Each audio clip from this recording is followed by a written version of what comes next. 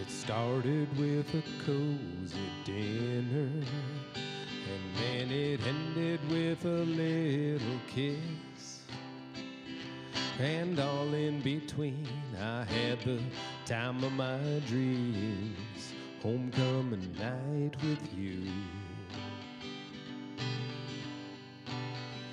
I was real nervous when I asked you because I wasn't sure what you would say.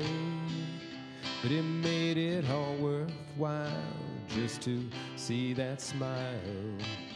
Homecoming night with you.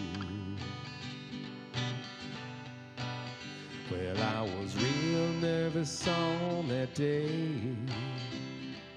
I wasn't sure what you would